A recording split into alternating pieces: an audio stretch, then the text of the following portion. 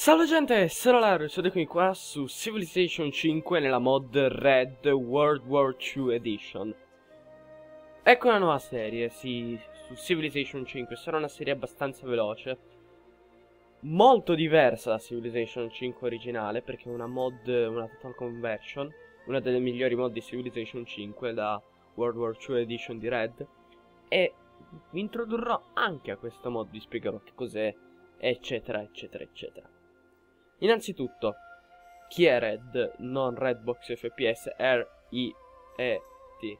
È un gruppo di modders, o un modders, non ho mai capito questo. Non sono mai riuscito a capire, ma credo che sia un gruppo di modders. Che fanno eh, queste mod di Civilization 5. Hanno fatto Yet Another World Map, appunto la World War II, eh, quella delle unità etniche, che è stata abbastanza buona, molto ben fatta una delle formazioni, una del miglioramento della diplomazia e posso andare avanti così per anni perché ne hanno fatte veramente tante, ma che non so persona, tante, tante. Meno, comunque. Eh, le mod che sto utilizzando appunto sono Red World War II Edition, la data files che è necessaria, e la Extreme Rescale che è una mod grafica per le unità e vi spiegherò che cos'è in gioco. Innanzitutto, partiamo. No, ovviamente, come suggerisce il nome, è ambientata nella seconda guerra mondiale. La seconda guerra mondiale, ovviamente, non possono mettere tutte le fasi della seconda guerra mondiale, nemmeno fasi più piccole. Quindi hanno messo tanti scenari per varie fasi della guerra. Questa mod qua è ancora in produzione. Tipo, ci sono certi scenari che sono, metti caso, Nord America, eh, oppure Small Europe o della Terra che sono un po' in fase instabile perché sono ancora in alfa. Però tipo la Terra del 42 e l'Europa, Stalingrado sono completate. La Terra del 42 è un po' instabile perché la mappa è veramente gigantesca.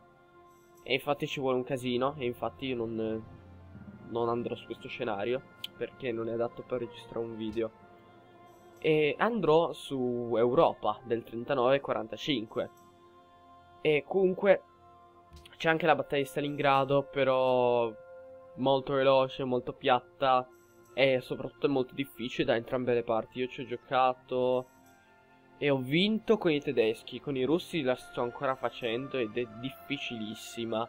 E comunque ce la sto un po' facendo dai sì. Ci sono comunque poi altre cose che sono tipo del Nord America e Europa dal 36, 36, 42, 39 e 39. Perché ovviamente ci sono varie fasi della guerra, tipo c'è la terra di pre-guerra dal 36 e la terra di inizio guerra. Poi c'è l'Europa di pre-guerra e... No, non c'è l'Europa di inizio guerra, scherzavo. Eccetera, eccetera. Oltretutto è curioso che se tu parti nella mappa terrestre della guerra del 42, se tu scegli la Francia parti senza... parti che hai praticamente perso perché non hai più nulla. Ed è fantastico. E comunque... sì, sono un gruppo di modders. Non mi stavo sbagliando, ho controllato qui. E...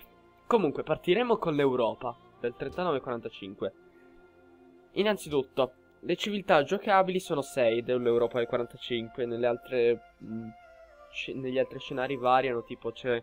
nella mappa terrestre ci sono tutti questi qui tipo Grecia, eh, Germania, Inghilterra, Francia, Italia e Russia, più Cina, Stati Uniti e Giappone negli, altre, negli altri scenari. Poi ovviamente se tu metti Nord America e Europa assieme ci aggiungeranno anche gli Stati Uniti. Ma mi state chiedendo, Laros, tutte le altre civiltà, tutte anche fazioni, stati che sì hanno partecipato alla seconda guerra mondiale ma non attivamente, che sono solo stati conquistati, che cosa faranno? Beh, questi qua invece saranno delle città-stato e giocheranno in modo abbastanza particolare in tutta la partita. Innanzitutto, parlando di questo scenario, abbiamo Ioannis Metaxas, non so chi sia, scusa, mi scuso con tutti i greci, che adesso mi stanno seguendo, e danno un uh, bonus hero Fight Like Greeks, che le unità terrestri ricevono il bonus disciplina, che vi spiegherò anche dopo un po' che cos'è. E capiterà spesso che io mi scontrerò contro la Grecia. Poi hanno le proprie unità, tutte le fazioni hanno le proprie unità particolari. Poi tipo c'è Adolf Hitler che ha Blitz come bonus, che tutte le unità armate hanno Blitzkrieg. Mm, roba troppo sgrava. Poi ci sono gli Stati Uniti, cioè Stati Uniti, che cazzo dico? Inghilterra, che ha We Shall Never Surrender, che li rende praticamente impossibili da conquistare, perché hanno più 25 forza d'attacco, d'attacco, acqua che spacqua, d'attacco nel territorio inglese, appunto. Poi abbiamo de Gaulle per i francesi, che ha 50% in più di, della chance in cui di creare partigiani nei territori conquistati dal nemico, ovvero se a me conquistano, metti caso, un po' di territorio, ci può essere la probabilità che nasconda unità nel territorio nemico. È una cosa abbastanza interessante, un po' sgrava, soprattutto se tu devi attaccarli. Poi abbiamo il nostro Benito, nostro, bello che sto registrando questo video il 25 aprile, non dovrei. Comunque, abbiamo Benito Mussolini che ha Mare Nostrum, che l'unità eh, di navi hanno il 33% di mantenimento in meno e hanno anche la, la caratteristica suppli, cioè rinforzo, che vi spiegherò anche dopo cos'è. E poi dopo c'è Joseph Stalin che ha um, Great Patriotic War, che il personale ha un ratio doppio di spawn nelle città sovietiche. Oh, personale, vi sto parlando di partigiani, personale, blitz, disciplina, non ci starete capendo un cazzo. Ma una volta in gioco vi spiego tutto. Oltretutto, tutte le fazioni hanno una situazione di partenza diversa. Tipo, i greci partono con una situazione economica, eh, navale, di produzione, diplomatica, tra le peggiori. Forse diplomazia eh, nella media, non mettiamo divinità se no perdo subito, mettiamo re per esempio. E comunque, i greci partono con tutto basso di statistiche di stelle, però loro partono circondati da città-stato alleate, partono con eh, una buona situazione diplomatica tra eh, Russia, Francia e Inghilterra, e sono molto difficili da conquistare perché hanno un territorio molto strano e riescono comunque ad avere un buon controllo sul mare. Però se vengono subito attaccati dall'Italia non possono durare tanto, devono subito farsi alleanze. Però loro mm, sono abbastanza difficili da conquistare perché hanno appunto il bonus disciplina che li rende troppo sgravi. Poi abbiamo, boh, Hitler che ha l'esercito di terra più potente di tutti. Poi ha l'esercito d'aria molto potente con la Luftwaffe che veramente sgrava, anche quella. Produzione molto elevata, economia nella media, di situazione diplomatica veramente peggiore, una delle peggiori, credo che solo mm, il nostro Joseph ce l'ha tra, le peggiori, oppure anche la Cina, però non siamo in questo scenario. Poi ha la forza della flotta che non è tutto sto che, intanto la Germania non serve, solo che parte in una situazione che è circondata da nemici ha l'Inghilterra che gli fa pressione, la Francia è subito di fianco. Se la Russia conquista la Polonia è anche circondata da lì, quindi la Germania è molto difficile da utilizzare, però ha appunto un esercito troppo sgravo, troppo potente, parte con l'esercito più potente del gioco. E poi devi anche fare attenzione che l'Italia magari ti può anche stabbare alle spalle a un certo punto, cioè colpire alle spalle. Winston Churchill invece ha la migliore flotta è il migliore esercito, eh, la mia il miglior esercito, la mi miglior flotta anche di aerei, cioè migliore, come si dice aerei? Uh, aer aeronautica, sì, aeronautica, la migliore aeronautica. Agli aerei troppo sgravi può bombardare subito la Germania, cioè bombarda la Germania quanto vuole. Ha la situazione diplomatica migliore. E sono molto facili a giocare gli inglesi perché sono isolani, hanno la forza navale potentissima. Hanno una flotta potentissima. Hanno pure gli aerei sgravi. Economia buona, produzione buona, che situazione diplomatica alle stelle. Però la diplomazia non serve tanto in queste, questa mod. Quindi sono potentissimi, diciamocelo.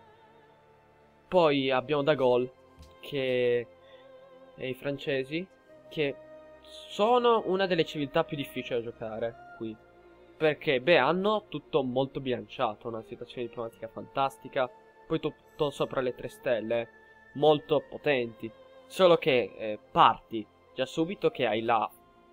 Sei l'unico, l'unico stato alleato che, oltre alla Russia, che ha diretto contatto con la Germania e l'Italia. Quindi, se ti fa un attacco combinato, tu non sopravvivi tanto a lungo. Anche sì, ti può aiutare l'Inghilterra, però è difficile. Parto in una situazione di terra, proprio in posizionamento la peggiore, perché possono essere attaccati alle spalle da tutti. E sono molto difficili da utilizzare anche se hanno tutto sopra le tre stelle. Poi abbiamo Benito Mussolini, sì, eh, l'Italia. E non è tanto forte, anzi l'Italia non è forte a esercito, economia e situazione diplomatica. Però ha una produzione buonina non è il massimo. Una fortezza aerea che non è tutto sto che, lo posso assicurare, però è buona. E ha un esercito navale potentissimo. Ma l'Italia è veramente sgrava. Perché? Parte che è alleata con l'Albania, con eh, la Libia. Quindi tu praticamente le città-stato, Albania e Libia. Quindi dall'Albania tu riesci subito a attaccare la Grecia. E oltretutto loro, se vogliono, possono dichiarare guerra anche un po' più tardi. Quindi possono subito andare contro la Grecia, farsi un buon esercito e dopo attaccare la Francia. E poi oltretutto loro, oltre ai francesi, non sono circondati da nemici. E oltretutto l'Italia parte in una situazione fantastica che ha ovviamente la penisola italica, mezzo al Mediterraneo, puoi avere un controllo molto efficiente su tutte le città-stato. Quindi poi la minaccia russa è lontanissima e sono una delle situazioni di partenza migliori. Però se ti dichiara, guerra, se ti dichiara guerra la Francia subito, sei fritto, non ce la puoi fare. Non, veramente, non hai tante chance. C'è solo stretto che sta tra Genova e Nizza, ti può dare una mano, però è difficile. Poi abbiamo Joseph Stalin, che parte con l'esercito più potente del gioco, credo. In flotta non ne ha. Economia è veramente basso. Produzione buona, di situazione diplomatica 4 e forza aerea 2. Stalin, che vedendolo così eh, non è che sembra tutto che si ha l'esercito molto potente e anche una situazione diplomatica buona. Però che cos'è che non va tanto in Stalin? Perché oltre che se viene attaccata la Germania non è che si riesce tanto a difendere bene, perché non può essere aiutato da nessuno. Però Stalin è abbastanza, posso dire, facile da utilizzare se uno lo sa utilizzare bene. Se tu vai subito ad attaccare tutte le città-stato del sud, tipo Georgia, Turchia, passi dalla Grecia, la conquisti, vai all'Italia, la conquisti e tu ce la puoi fare a conquistare il mondo. Se la sai giocare bene, se non attacchi la Polonia, la Polonia non bisogna attaccarla subito. Non lo consiglio perché è circondato da città-stato. Città quindi è abbastanza buona. Poi ha sulla quarantina di città, che sono veramente tante, tu ti crei un casino di persone che possono andare in guerra. Quindi, detto questo, io vado su Benito Mussolini perché non per scelte mie politiche, ma assolutamente non condivido le sue idee politiche, ma è solo perché, boh, voglio vedere se l'ora delle decisioni irrevocabili fosse andato un po' diverso, tipo in quell'ora ci fosse Larus che sul Palazzo Venezia, come si chiama? Non mi ricordo. C'era lui invece di Benito e parlava di poi arcobaleno che conquisteranno il regno d'Albania. Comunque, lasciamo così. Eh, io metto come appunto tutto quanto, metto extra autosave storia alternata, che possiamo dichiarare guerra oltre il calendario, perché qua c'è una brutta cosa, che noi non possiamo dichiarare guerra entro la sorta di calendario. Il CPU, oltretutto, eh, va a date. Tipo, metti caso, quando è che hanno dichiarato guerra eh, la Francia all'Italia? Non mi ricordo. Non mi ricordo, guarda. No, in realtà è l'Italia che ha dichiarato guerra. Beh, comunque, lasciamo stare. Metti caso, mm, la Germania invade la Polonia. Quel giorno invade la Polonia, non è che tipo il giorno dopo può decidere quando vuole. No, la situazione di partenza è questa. Poi metti caso dal 40, dal 1940, la Francia e l'Inghilterra faranno un'alleanza perenne. C'è tutto molto mh, mm, cadenzato, molto serrato. E questo un, una grande pecca perché è bello, tipo io mi ero fatto tutti i miei piani la prima volta che ci avevo giocato. E poi alla fine, boh, tu devi dichiarare guerra per forza alla Polonia. L'ho fatto la prima volta con la Germania, dichiarare per forza guerra alla Polonia, io che volevo subito attaccare l'Italia perché sapevo che mi avrebbe stabbato alle spalle. Invece non potevo perché... Boh, è comunque un casino. Quindi, eh, scegliamo Benito. Possiamo anche scegliere se fare hotset, cioè local multiplayer, sarebbe split screen, una cosa di strana, eccetera eccetera. Possiamo anche mettere eventi scriptati, ma non è sicuro perché sono praticamente dei video che metti caso quando la Francia viene annientata c'è questo video, quando c'è mm, la battaglia di Stalingrado c'è questo video, tutti questi cose qui, ecco, la conquista di Stalingrado, eccetera eccetera. Ci sono tutti questi video qui. E immagini, foto, però non le ho mai attivate, non capisco cosa fanno, però possono far crashare il gioco. E a me non va tanto, non voglio rischiare, intanto magari posso mettere io qualcosa di interessante io nel montaggio video. Dopo questa introduzione di 20 minuti, credo, partiamo.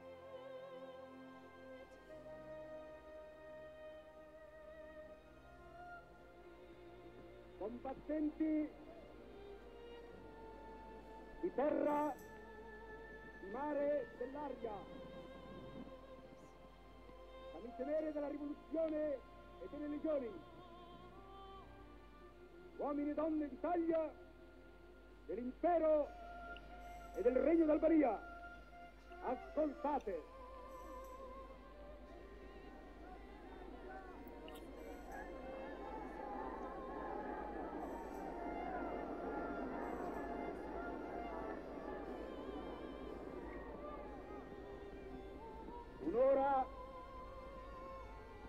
Segnata dal destino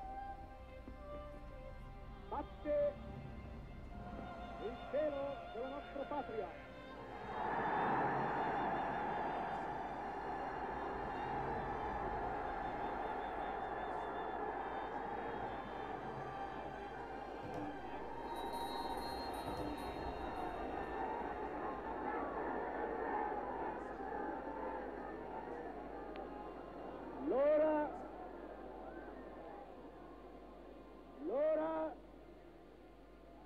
Decisioni irrevocabili. Beh, non sto a ascoltare anche il discorso di Benito Mussolini, potete guardarvelo su YouTube tranquillamente. Se no stiamo qua metà video a spiegare la mod e metà video a sentire il discorso di Benito Mussolini che li ha detti 70 anni fa. Comunque, eccoci qui, questa è la mappa. Bando ai bug grafici di Civilization 5, che ci siamo ormai abituati. Vediamo un po' che cos'è questa mod, che cosa mette.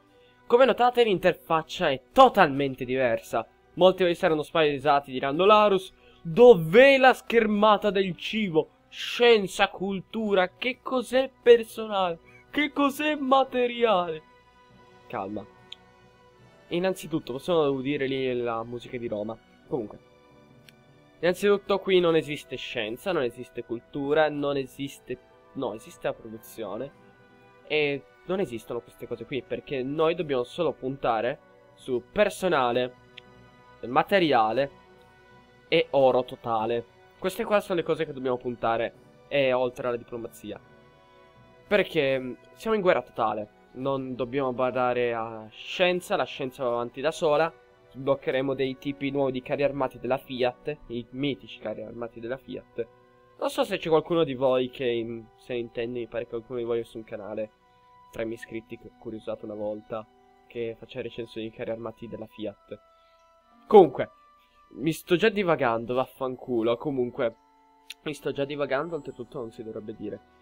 Possiamo vedere che qua partiamo con delle città, eh, non possiamo fondare altre città, possiamo solo creare unità militari non possiamo creare strade, queste cose qua sono solo scenografiche, non assolutamente non servono nulla, tipo fattorie, manu industrie manufatturiere, non servono nulla. Il personale che cosa serve? Cosa serve, oltretutto, anche il materiale? Funziona così. Ogni unità per turno costa del personale. E per produrre un'unità bisogna mettere del personale e del materiale. Facendo un esempio. Mettiamo qua l'artiglieria. Voglio costruire l'artiglieria. Mi costerà 320 di produzione. Boh, la produzione, quella che è per città, dipende da praticamente quello che metti di fabbriche dentro appunto la città oppure i war bonds che metti, tutti gli editti. E tipo, quando un'unità di artiglieria, metti caso, facciamo un'unità molto più semplice. La prima divisione di fanteria, metti caso, viene danneggiata, non so quanta vita abbia, metti caso, ha 10 di vita. Questa unità qui, mettendo in paradosso, non so se è così, ogni turno, ogni punto vita, anzi, per recuperare questo punto vita dobbiamo dare 10 di personale e 5 di materiale.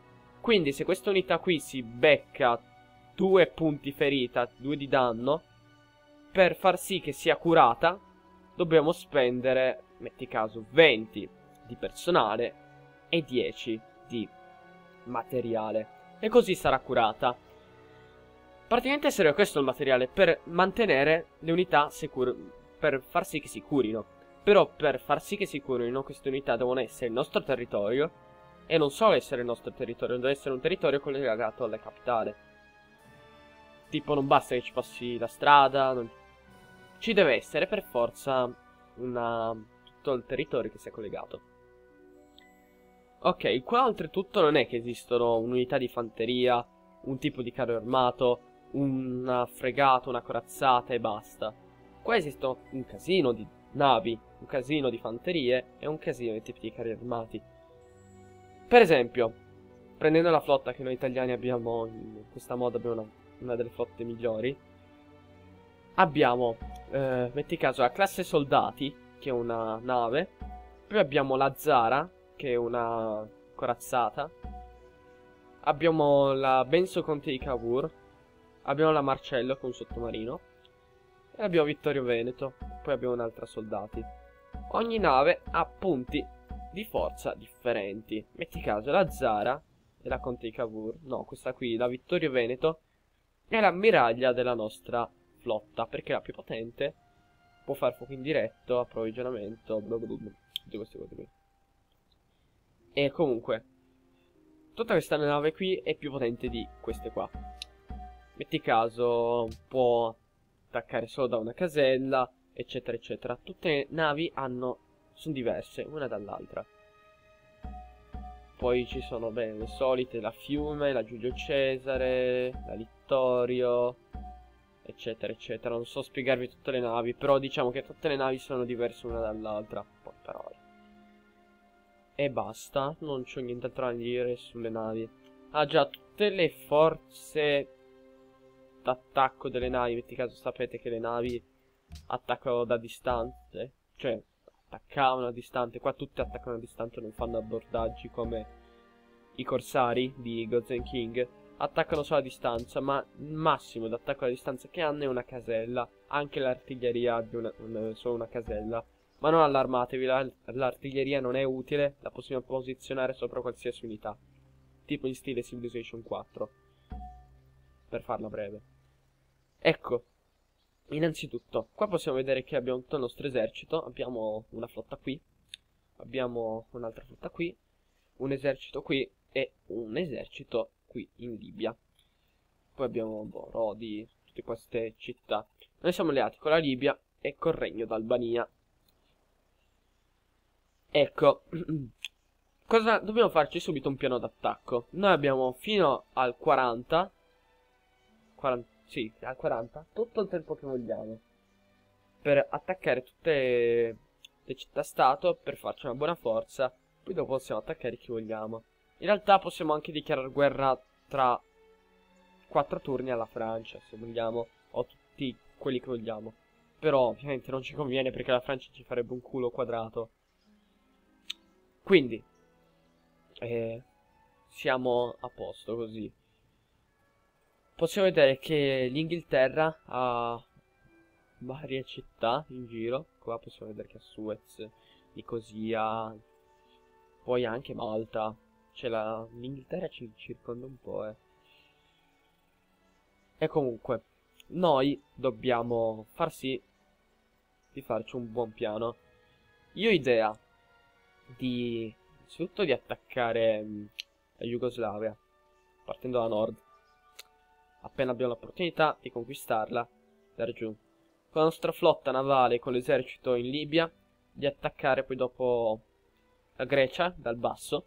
Non dovrebbe essere molto difficile, dobbiamo attaccarla subito prima che faccia qualche alleanza strana. Poi dopo possiamo andare su la Bulgaria e poi dopo partire, anche se vogliamo conquistare un po' di Turchia, non fa male. Poi dopo partire in Francia. E sarà già arrivato il 1940, all'ora delle decisioni irrevocabili. Tanto la nostra Germania da, da pochi turni, tra pochi turni dichiara guerra a, alla Polonia. E attaccherà qui. E anche i russi dichiareranno guerra alla Polonia. E attaccheranno qui. Qua si troveranno un punto di incontro poveretti. E quindi ci sarà poi dopo una guerra molto massiva qui. Poi dopo la Germania in teoria dovrebbe andare a nord conquistare tutta la penisola scandinava. Sta qua a meno 4 di forza d'attacco ma come cazzo è possibile? Comunque conquisterà tutte le penisole, le penisole scandinave, anche la Dan penisola danese, e poi dopo andrà ad attaccare la Francia e sarà continuamente bombardata l'Inghilterra. Quello che possiamo fare è, innanzitutto, la Russia possiamo anche non farci troppi problemi, possiamo vivere anche se c'è la Russia. La Russia non ci dà, prima che ci darà problemi passeranno turni, turni, turni e anni, anni, anni. Il piano d'attacco è conquistare qui, questa zona. Così abbiamo... Forse la Bulgaria for è meglio di no, stavo pensando. No, la Romania non la conquistiamo, la Bulgaria sì. La Romania facciamola come è stato cucinato nel caso se eh, la Russia ci attacca. Però il resto teniamo qui. Poi conquistare questa zona, magari anche l'Algeria, senza fare la disfatta di come si chiama? Non mi ricordo, devo guardare il nome della città. È la Lamein, ecco. Senza fare una disfatta del genere. E dopo possiamo fare quello che vogliamo. Conquistare la Francia, così l'Inghilterra sarà da sola. E noi e la Germania andremo ad attaccarla. Una volta eliminata l'Inghilterra, andremo ad attaccare la Russia. E se riusciamo, se riusciamo. Però la Russia da sola sarà facile da attaccare. Quindi, partiamo subito. Inizio a spostare un'unità qui. Non si sa mai, facciamo da guardia proprio, eh. E anche un'unità di carri armati qui. Giusto perché voglio, sono una persona che vuole tenere tutto sotto controllo. Poi dopo iniziamo a spostare tutte le nostre unità a Trieste. E, e ok, bene. Questa prima puntata qua è stata solo un po' di spiegazioni, poi dopo le prossime saranno più libere. E ah, anche la nostra squadrona. Bla bla bla. Possiamo tenerli al momento tutti a Bologna. Perché Bologna, da, mi pare che da Bologna possiamo attaccare sia Nizza, nel caso se ci attaccheranno, tenere Nizza lì, e attaccare anche Zagabria, se vogliamo. Ci stato quest'estate a Zagabria. Una città di merda. Comunque. Ok. Io quello che posso dire adesso è... Possiamo utilizzare un po' di flotta. Non tutta. Tipo... Tre ammiragli, queste tre. Come... Unità per attaccare e bombardare Spit. Spalato. Come si chiama? Sì, Spalato, sì. Bellissimo come città invece quella. Utilizzeremo lì per bombardarla. Poi dopo da terra andremo lì. E conquisteremo. Invece tutte le altre unità di navi le manderemo in Grecia. Qui. E faremo una flotta che... La Grecia ha una flotta che non scherza, posso dirvi. È una flotta veramente potente. Non sembra, ma è veramente cazzuta la Grecia. Eh inc fare, fate incazzare la Grecia mai. Tanto qua possiamo vedere che Wickers, vediamo un po' che unità. Qua Patras. Sì, Patras. Ah, no. Tutto. Ok. Innanzitutto, poi c'è anche il sistema di conquista qui, che è un po' diverso da quello che conoscevamo già. Perché? Che cosa ha questo sistema qui di strano? Questo sistema di conquista è un po' diverso, che non basa tanto su conquistare un, una città e poi dopo conquisti tutti i prefetti attorno. Tu, se metti la tua unità qui, metti caso, siamo in guerra, e io metto un'unità qui, questa casella qui la conquisto. Se metto un'unità qui, questa casella, qua, questa casella, questa casella qui la conquisto, eccetera, eccetera, eccetera. Ovviamente le città bisogna assediarle, conquistarle, fare tutto il macello. Quindi basta che noi mettiamo un'unità qua sopra, la conquistiamo. Oltretutto, per, è, è indispensabile conquistare tutte queste caselle se vogliamo continuare a tenere la nostra linea di rifornimenti attiva. Quindi quello che consiglio è tenere sempre una buona linea di rifornimenti attiva, perché se non avete la linea di rifornimenti attivi avrete malus su malus su malus alle unità, poi avrete unità che non si cureranno, eccetera, eccetera, eccetera. Quindi, poi oltretutto, eh, voglio partire facendo tutte queste cose qui, eh, questi editti, che servono più che altro a aumentare la produzione, cioè, oltre, non proprio la produzione, eh, lo stock, che così aumenteremo le risorse per andare in guerra. Che noi dobbiamo andare in guerra più preparati, in una maniera più preparata possibile. Le città maggiori, che sono Roma, Bologna, Milano e credo Trieste, non mi ricordo, sono e Napoli, scherzavo anche, c'era anche Napoli, possono costruire unità. Quindi, ci servirà subito una fattoria di terra, cioè una fabbrica di, di terra. No, scherzavo, Napoli non serve. Sto per dire Napoli inutile, ma è brutto da dire. che, che stonzo che sono. No, no, no, ovviamente scherzo. Ci servirà per Napoli perché ha tanti cittadini, comunque, in confronto ad altre città. No, facciamo Your country needs you, che ci dà molto di più. Ok, poi dopo, eh, qui, eh, produzione, facciamo le fattoria, fabbrica, fabbrica d'aria. Milano invece facciamo una fabbrica, non so, che cazzo facciamo, sempre di terra, perché Milano è in una posizione strategica, e Trieste, beh che anche Trieste non è che serva tantissimo per costruire unità. Facciamo... Mm, le mura sono inutili. Vedendo. Facciamo War Bonds.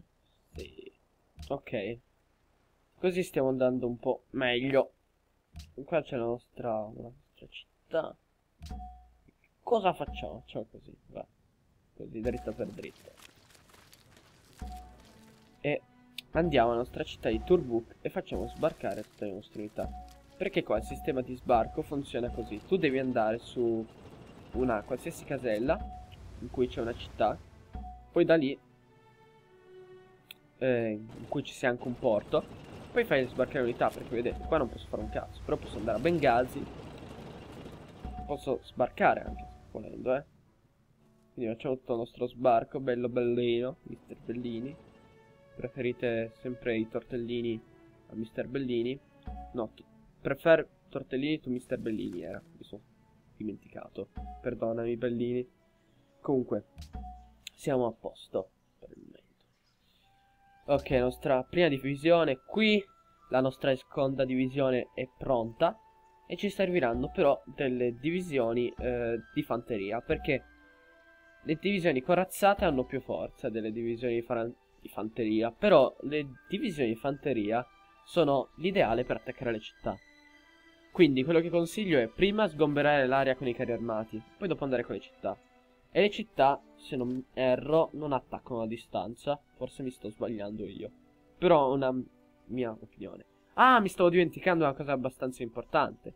Mica è un turno dura un anno. Credo che questo fosse ovvio. Eh, un turno dura 10 giorni. E funziona tipo il primo di luglio, poi dopo sarà No, Giuli è... Sì, luglio. Eh, primo di luglio, poi dopo il prossimo turno sarà il decimo di luglio, ventesimo, trentesimo e uno. Eh, oppure, no, forse 1, 10, 21, 10, 20, credo. Più o meno è sempre così, dritto per dritto. Si vede che mi piace Mario, eh? Non sta... Forse non avete notato. E comunque, il mio piano è di conquista e innanzitutto conquistare Heraclon. E Heraclion. E bloccare tutta la flotta qui. Qua, in questa zona qui, la flotta greca. Una conca del genere. Così la distruggiamo tutta in modo compatto. E poi dopo possiamo, una, una volta che la flotta è annientata, possiamo bombardare quanto vogliamo sulle città. Non è un pro problema, assolutamente. Possiamo anche, se vogliamo, dopo, sfruttare Tirana come sbarco. L'Italia è veramente messa in una posizione fantastica, eh, posso dire. Quindi, ok. Spostiamo la classe soldati un po' qui. Così guardiamo un po' cosa c'è. Eh, la flotta dov'è? Boh. Oltretutto ci sono anche le meraviglie in certe città. Tipo a Roma non c'è un cazzo. Esatto. Però tipo qua c'è l'oracolo di Delphi. Che era qui Delphi, il gruppo, ma poco importa. E Atene era qui, ma poco importa. E comunque, poi ci dovrebbe essere anche una statua di Zeus da qualche parte, da qui forse. Non mi ricordo. Comunque ci sono le meraviglie in giro. C'è anche il Louvre. No, c'è la Tour Eiffel. Il Louvre non esisteva ancora, molto probabilmente. O esisteva, non mi ricordo, sono ignorante. E comunque, eh, per questa puntata è tutto. Mi scuso se è stata una puntata molto noiosa, però era di introduzione alla mod. Vi consiglio di lasciare un voto, di commentare e dire che cosa ne pensate di questa mod. Ci sentiamo alla prossima gente. Dalla Rostitto. Ciao!